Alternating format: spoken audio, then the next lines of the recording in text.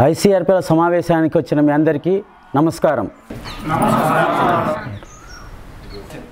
గత వారంలో బీజామృతము చేప కషాయం తయారు చేసే విధానం గురించి మనం తెలుసుకున్నాం కదా. అందులో ఉండే ఒక ప్రశ్న. బీజామృతం తయారు గురించి మనం తెలుసుకున్నాం కదా. తర్వాత దానికి కావలసిన పదార్థాలు ఏంటేటో చెప్పగలరా?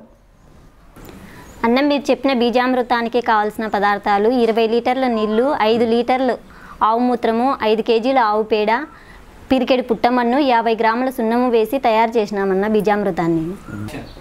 బాగా చెప్పావమ్మా. బీజామృతం వల్ల ఉపయోగాలు చెప్పగలరా?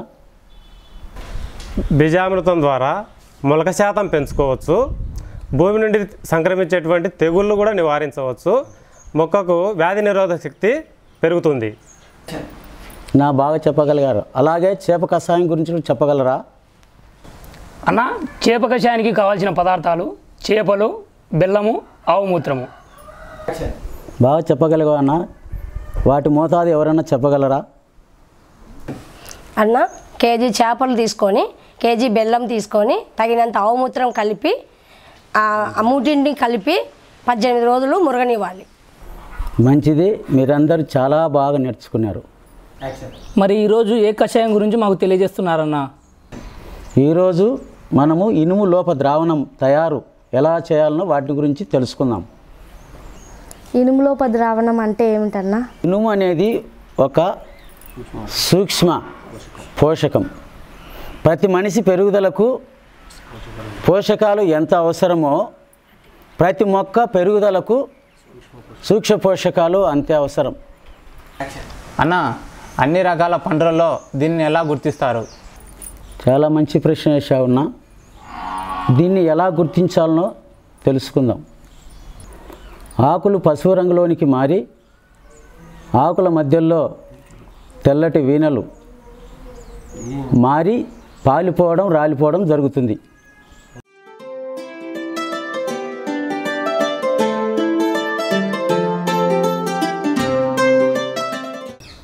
సరే అన్న ఈ ద్రవణాన్ని ఎలా తయారు చేసాలో చెప్పండి. ఇనుము లోప ద్రావణ తయారీకి కావలసిన పదార్థాలు. కేజీ కరివేపాకు కేజీ మునగాకు రెండు వందల యాభై గ్రాములు పసుపు వంద గ్రాములు ఇంగో పొడి పది లీటర్ల నీళ్ళు వీటన్నిటినీ ఉడకబెట్టుకోవడానికి తగిన పాత్ర.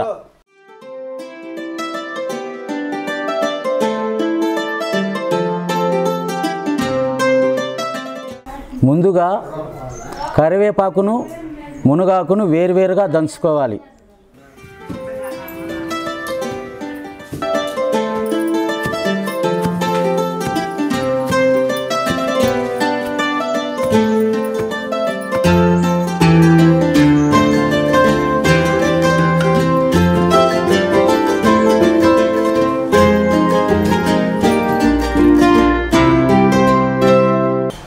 ఇలా మెత్తగా దంచుకోవాలి.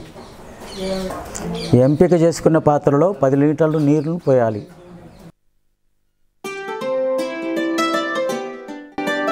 దంచిన మునగాకు ముద్దను అందులో వేసుకోవాలి.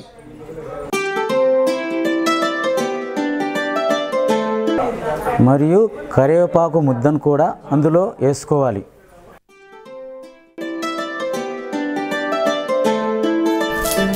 రెండింటిని అందులో వేసుకొని కొద్దిసేపు మరగబెట్టాలి.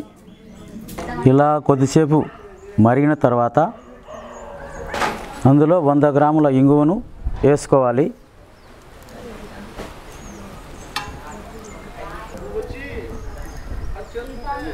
అలాగే రెండు వందల యాభై గ్రాముల పసుపును కూడా అందులో వేసుకోవాలి.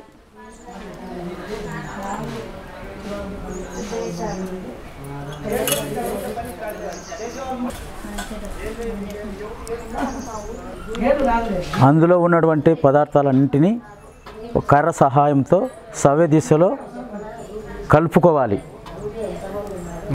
అన్న ఇంకా ద్రావణం తయారైనట్లేనా?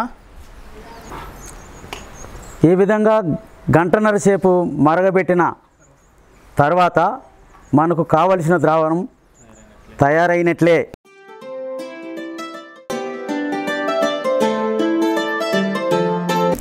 ఈ ఇనుము లోపం మనకు ప్రధానంగా ఏ ఏ పంటల్లో కనబడుతుంది?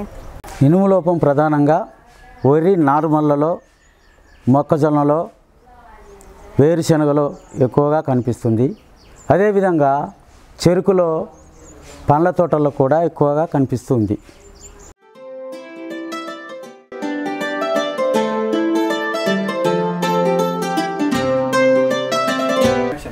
అన్న తయారైన ఈ ద్రావణాన్ని ఎలా ఉపయోగించాలి?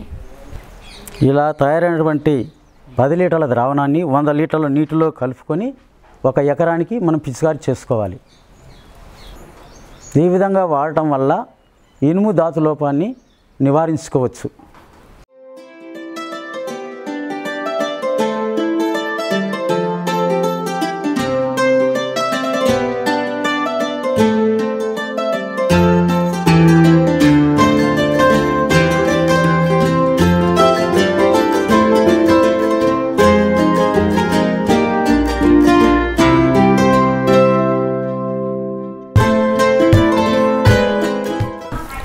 ద్రావణం గురించి తెలియజేసినందుకు మీకు ధన్యవాదాలు.